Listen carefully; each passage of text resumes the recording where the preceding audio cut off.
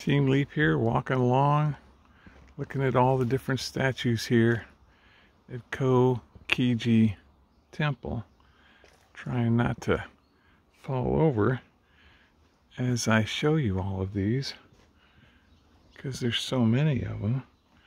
And of course the ground is very uneven, but it's worth the cinematographer's risk to show you. These are I don't know, maybe 20 or 30 here in a row of thousands. There's literally thousands here with this guy. And every one of them's different. That's the thing. They're not cookie cutters.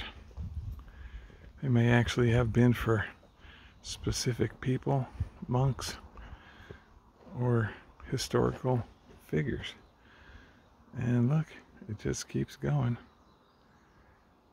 but there's a bush in my way.